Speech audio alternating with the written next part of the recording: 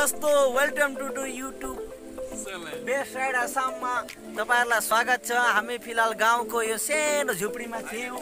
अनि यहाँ फिलहाल साथीहरू सबै आउँदैछन् दाजुभाइहरू।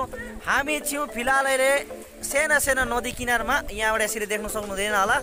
अनि ब्याक साइड छ तपाईँको tea garden full tea garden हामी म पनि फिलहाल म पनि जान्छु।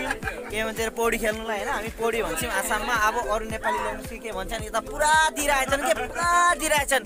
अहिले रकेट भइरहेछ त्यसको बारेमा हामी खाने हो। यी भाइ पनि साथै अब यसो ठोकेर जाने हो होइन?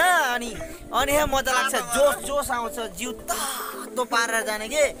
अनि आउँदैछन् आउँदैछन्। अरू दुईजना चेलीबेटी आउँदैछन्। ओ चेलीबेटी हेर्नुहोस् हेर्नु सक्नुहुन्छ क्यामेरामा। यी भाइ यो लुते भाइ हेर्नुहोस् एकदम पाङ्रे पाङ्रे छन् तर देख्नुलाई पाङ्रे हो तर काम चाहिँ खतरा गर्छन्।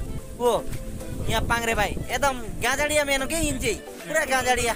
अनि उता भाइ हो सब अब ड्रेस स्रेस खोलेर हामी पुरा तातो गइरहेको छौँ जिउलाई अनि त्यसको बादमा हामी जाने पौडी खेल्नलाई। ल फेरि एउटा ल पौडी खेलेको बादमा।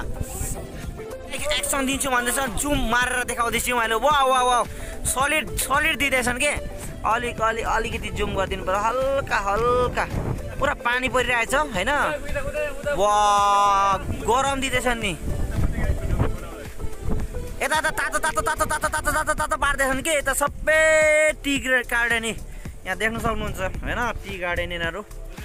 सबै टी गार्डन यो हाम्रो टुङ्सी सानो पात राख्ने यो हाम्रो जुन चाहिँ ग्रिन टी हुन्छ यो ग्रिन टीको उता पात राख्ने।